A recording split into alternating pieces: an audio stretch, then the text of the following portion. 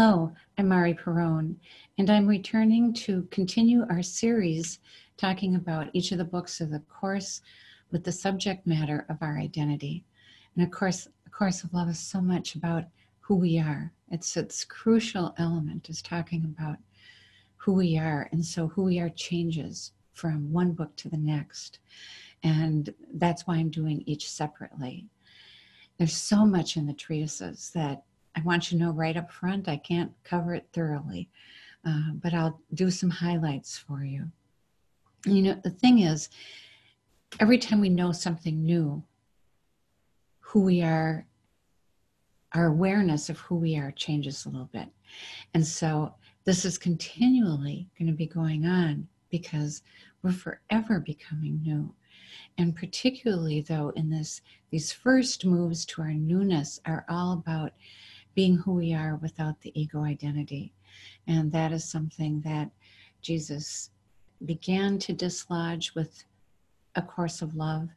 And some may have felt it completely, completely free of the ego after the first book, The Course. And but some of us, and I, I know Jesus knows this because he keeps telling us that the ego is gone. So it's like, oh yeah, you're still hanging on to a little bit of it, but but now a little more is gone and a little more is gone. And so that's what's happening in this um, first treatise. And, you know, I had a realization a while back um, where I saw myself having continued a, fa- a pattern of family enmeshment. And the thing is, when you make realizations, you go, my God, why didn't I see that before? You know, it's like, but things come to you in the time they come to you. And what we're hearing in A Course of Love is just sort of helping move us along in that way. And, you know, every uh, realization of this kind, like me saying that I had a pattern of family enmeshment, is um, is painful. Really, change is painful. And I know we don't like to talk about that sometimes spiritually, but, or a lot of people don't, but I do, because I think we can get hung up if we are experiencing something of a struggle. And change is messy, you know, change is just messy. So when we are getting to each of these new spots that we are taken to with the course of love, just like seeing something with family enmeshment. It's a messy process. I mean, I saw a therapist for a little while to help me get through it and to really speak it out. And I even thought of drastic measures more than a few times. And many people do take drastic measures when they realize something new about themselves.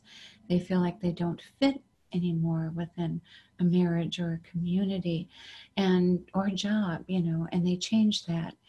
And those are big events in our lives. And they call for um, courage, you know, and they call for discernment and many things that aren't really uh, easy, even though we hear a lot about ease in this course. So I wanted to bring that up. And really all these things like enmeshment were taught to us. You know, it's like I learned this because the family of my birth had this problem. And then I carried it on into mine without even realizing that it was a problem until I did. So, our learning is the cause of many enmeshments, really. And that's what we're discovering and leaving behind. To know who we truly are, we need a new way of knowing it. And in my view, that has to do with personalizing this course because really what Jesus is doing is turning the focus to us right from the beginning so that we do do that. We don't need to look to outside authorities. We don't need to look to our old way of learning in order to realize what this course is saying to us. We look we need to look in here. So that's one of the biggest things about a course of love. So I want to tell you just a little bit about um, each book. And I'm going to start with, of course, the first. There's four books in the treatises. The first is a treatise on the art of thought. And the funny thing is, is that I thought I was done when A Course of Love was done. I didn't know that more was going to be coming. And there was a three month break. And so I'm bringing that up there here because Jesus actually mentions this in this first treatise. And I'm really surprised nobody's ever asked me about it. So here's what I'm talking about it's in um, chapter two when he says, The closing pages of A Course of Love instructed you to think no more. A break in time was needed for you to disengage the ego mind that produced the type of thinking that needs to come to an end. This ending is but a beginning in truth and has led you to readiness to learn the art of thought. So it was one of the few things that made me wonder about whether we should do a combined volume. That Jesus said there was a break in time needed for us to disengage the ego mind before coming to the treatises. So if you ever feel that sense of needing to pause between each book, do so. You know, always follow your heart and what you sense is right for you. He goes on to say, We identified much for you to leave behind within the pages of A Course of Love. These many things which seemed so distinct and separate, and which ranged from fear to struggle to effort to control and protection, can all now be seen as the product of your thinking mind.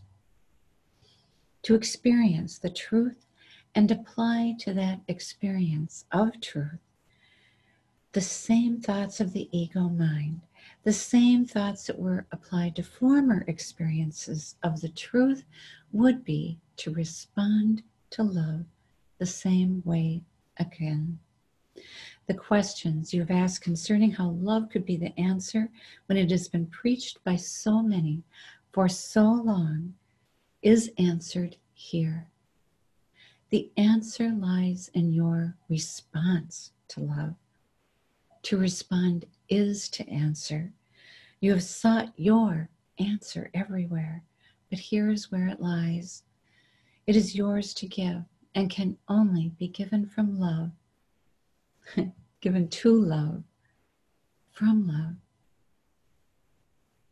Only in giving is it received. And I think those paragraphs really sum up the essence of this treatise the treatise on the art of thought also brings us our first mention of the elevated self of form, which we'll hear much more about later.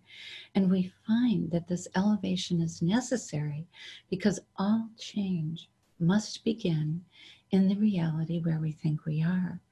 We can't await some changed state, but must create the changed state we await here, now, in form we hear that the ego has been separated from the personal self so that we can claim our personal self again. And we can truly, rather than falsely, represent ourselves, like going from that old enmeshed self to a true, healthy sense of self that's not enmeshed in other people's lives, you know?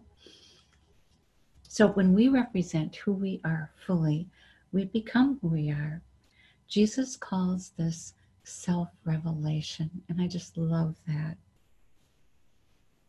This is in chapter 4. Lay aside your desire for reasons for self congratulation in favor of self revelation. The saying, the truth shall be revealed to you, is the same as saying, yourself shall be revealed to you. And then in the ninth tra- chapter of this short treatise, we hear what was is being thrown out. And the first step in this is embracing what you heretofore have not embraced. You are pulling forth sides of yourselves that were previously undervalued rather than looking for an other to provide what you lack. Why were these sides undervalued? I think it's a really good question for us all to ask ourselves. And one of my main answers is learning, because learning taught us to fit in. Learning taught us that we were always trying to be something, you know, something better than who we are, or trying to achieve something, or trying to um, change so that we could find love. And all of these things were uh, among the reasons that um, we were looking for others to fulfill us. And so we're leaving that behind. And the movement to wholeness begins there. And with pulling different parts of ourselves together. And the main of this is male and female. The feminine and the masculine. And Mother Mary is called on, and we're asked to reclaim the real act of creation, the bringing forth of the new through union with the divine self.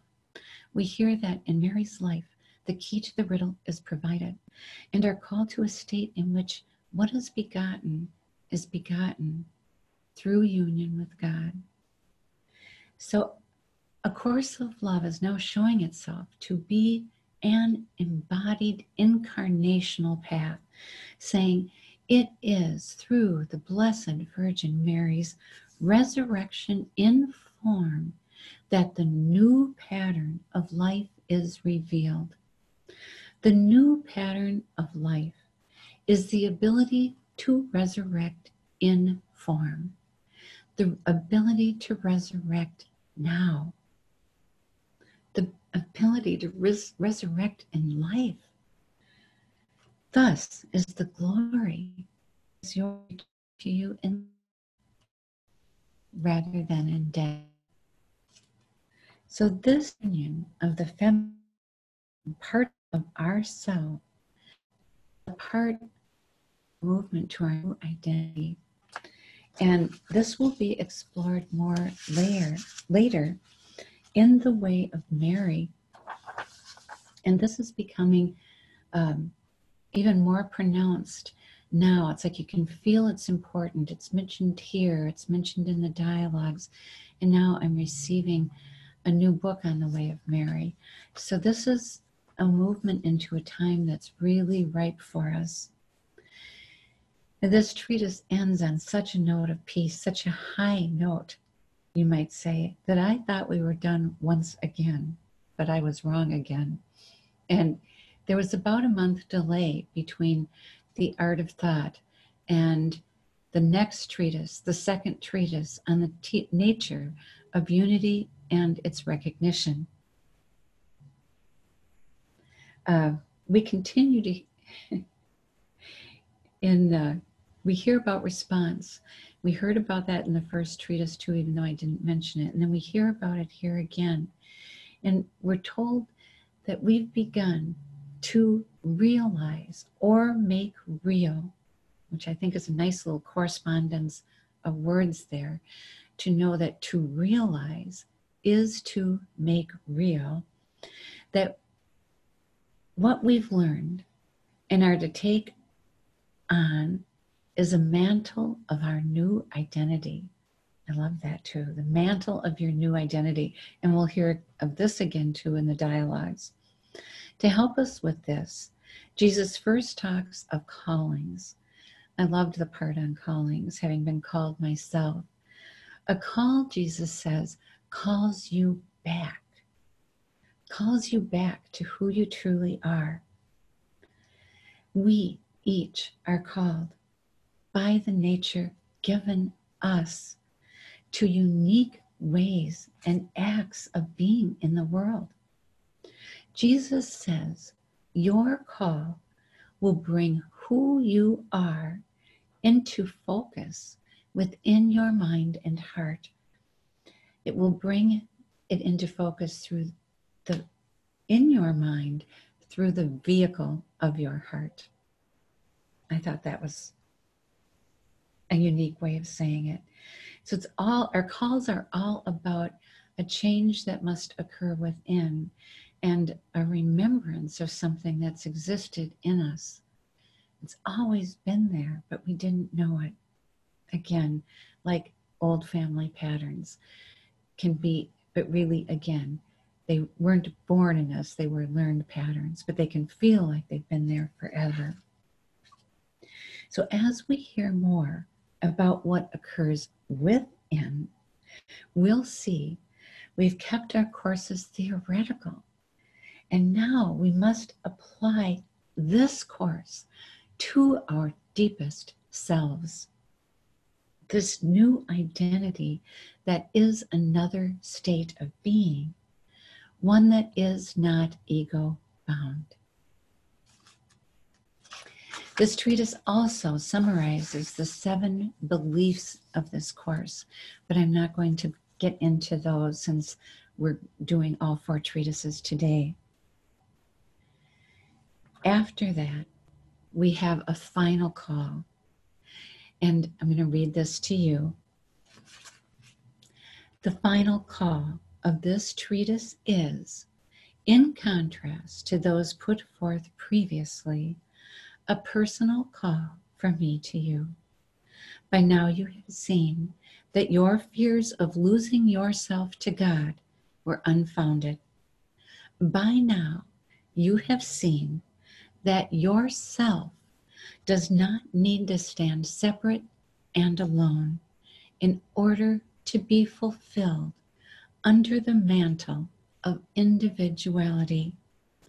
You have been told to put on a new mantle, a new self, a new identity. What does this mean? Now that you have been made ready. I am ready to return you to yourself. So that is the end of a treatise on unity. And I uh, didn't do as thorough a review of this one. And I love this one. Maybe that's why I didn't do it because I thought it'd go on and on. Now we're going to move to the third treatise. And I really should have showed you the book at the beginning. Here we go. This is A Course of Love, and it includes the course, the treatises, and the dialogues. And we are reviewing today the treatises. The third treatise is a treatise on the personal self. The treatise on the personal self is where we are again asked to never forget that establishing our identity has been the only aim of this entire course. Establishing our identity is the only aim of this entire course. Jesus begins by saying that our personal self hasn't represented our true self hasn't represented who we are truly. But now, since we've separated the ego from our personal self, we can do this. We can be who we are. We hear that we can only get to new life by being who we are in truth. Isn't that good news? we have an original purpose, and our return to it leaves us blameless and unaltered. Blameless and unaltered.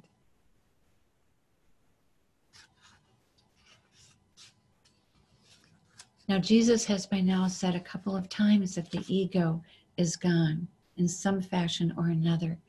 And now, in the third chapter, he says it definitively. The ego is gone. He says it. And this is followed by the only error possible is that of not being who you are. That's what the ego was, not being who we are. The only error possible. So we can now be error free, unaltered. And as we continue, what is emphasized along with the rejection of the ego is rejection of illusion. There is great depth in the way of the house of truth that is spoken of in this treatise. And I'm going to quote a little from it. This is from chapter 3. The work that is upon you now is that of replacing the house of illusion once and for all with the home of truth. The work that is upon you now is that of revelation of source. If the source of truth is within you, then it is your own revelation toward which we work. Now you can become the true self in observable, in observable form. And I want to share just a little piece from A Course in Miracles here because when we begin to talk of illusion, have more of a problems. But I found this beautiful quote. Actually, I'm sure somebody passed it to me, but here it is. It's from 2 4. My true identity, secure, so lofty, so sinless, glorious, and great, holy, beneficent, and free from guilt that heaven looks to it to give it light. It lights the world as well. It is the gift my Father gave me, the one as well I give the world. There is no gift but this that can be either given or received. This is reality. This is reality, and only this. This is illusion's end. It is the truth.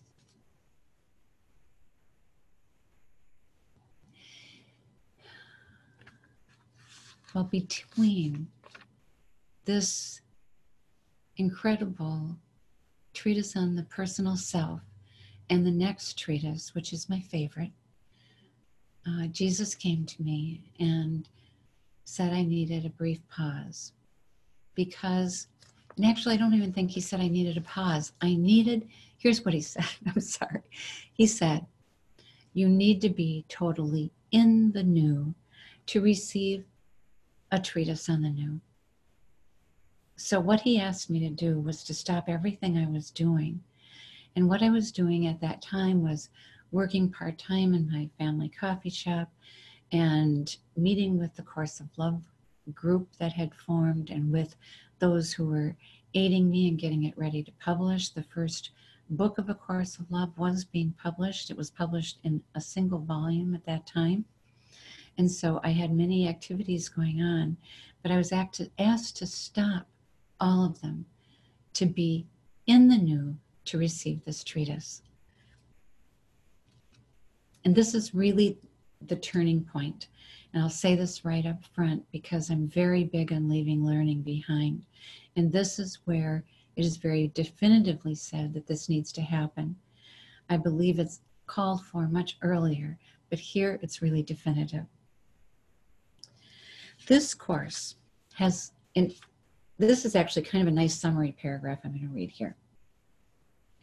This course has led you through resigning as your own teacher to becoming a true student and to now leading you beyond the time of being a student to the realization of your accomplishment. You were once comfortable being your own teacher. You willingly gave up this role and became comfortable in the true role of learner you are now asked to be willing to give up the role of learner and to believe that you will become comfortable and more in your new role as the accomplished.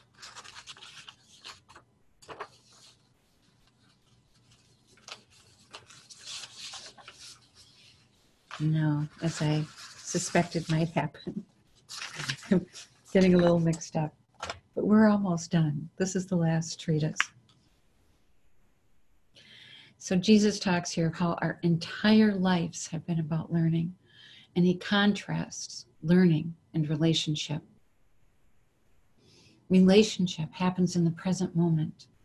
Studying takes up residence within the student, there to be mulled over, committed to memory, integrated into new behaviors. Relationship recognizes that love is the greatest teacher. Studying places the power of the teacher in a place other than that of love. Relationship happens as it happens. Studying is about future outcome. What happens in relationship has present moment meaning. What is studied has potential meaning. The outcome of learning or what is study is the production of things and perceived meaning. What we work toward now, toward now, is to advance from learning and producing things and perceived meaning to producing unity and relationship through unity and relationship. In the very first chapter, we hear something is different now. You are beginning to become excited by the feeling that something different is possible. I know I was. In the fourth chapter, we hear, I am calling you to the new. I am calling you to transform. I am calling you to Christ consciousness. I am calling you to everlasting consciousness, even while you still abide in form. Here, we're called to make a choice to be who we are and told our choice matters. To believe that you are mortal is to believe that you must die to the personal to the personal self of form in order to be reborn as a true self. This is an old way of thinking. You do not have to die to re- be reborn as a true self. Have we not worked throughout this course to return your true identity to you now? The joining of heart and mind in relationship is the joining of the personal self with the true self in the reality in which you exist now. This is happening now, here.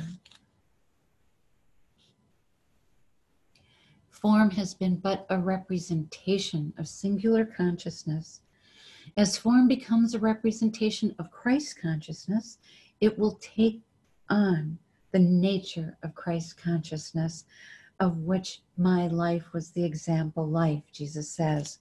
To sustain Christ consciousness in form is creation of the new.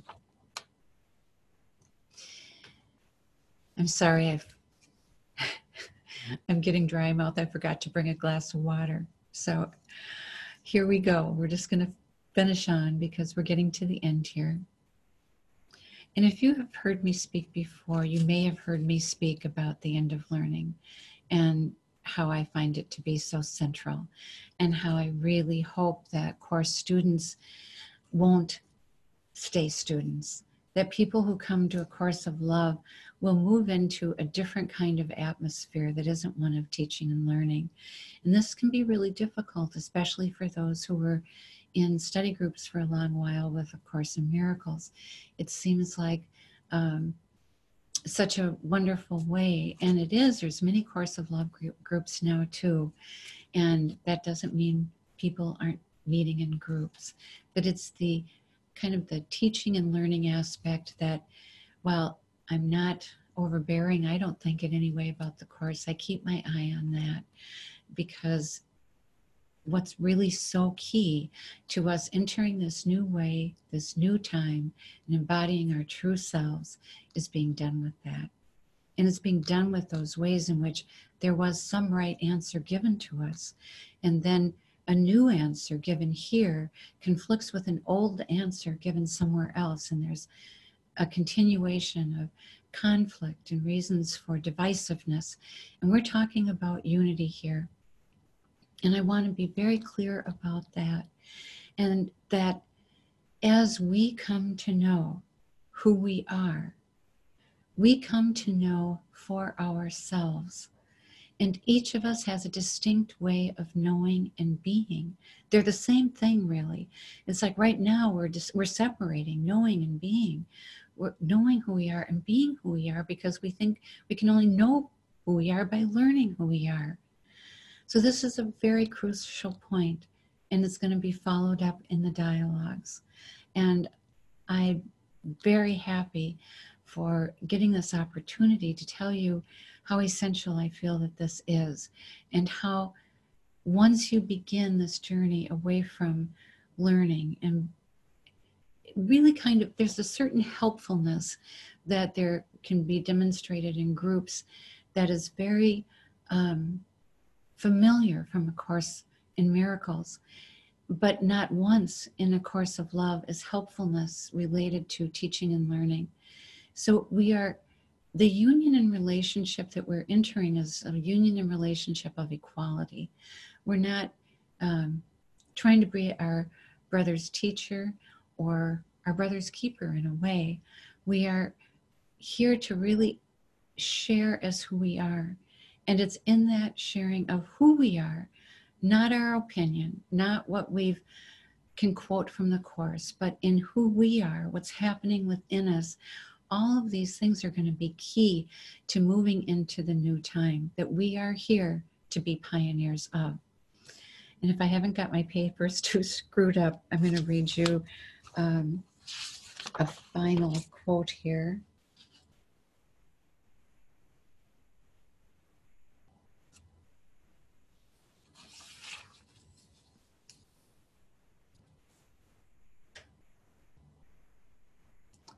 maybe one somewhat large one and a couple small ones. Okay, this is from chapter 9 of Treatise on the New. Do not accept lack of fulfillment. Do not accept the lack of fulfillment of a promise, a promise that has surely been made. Rejoice that the new time is here and be ready to embrace it as it embraces you realize that the self centeredness of the final stage of your learning has been necessary. Only by centering your study upon yourself have you been made ready. And then this treatise ends with a prelude to the dialogues. And it begins like this Welcome my new brothers and sisters in Christ to the creation of the future through the sustainability of Christ consciousness. Today we join together to birth the new.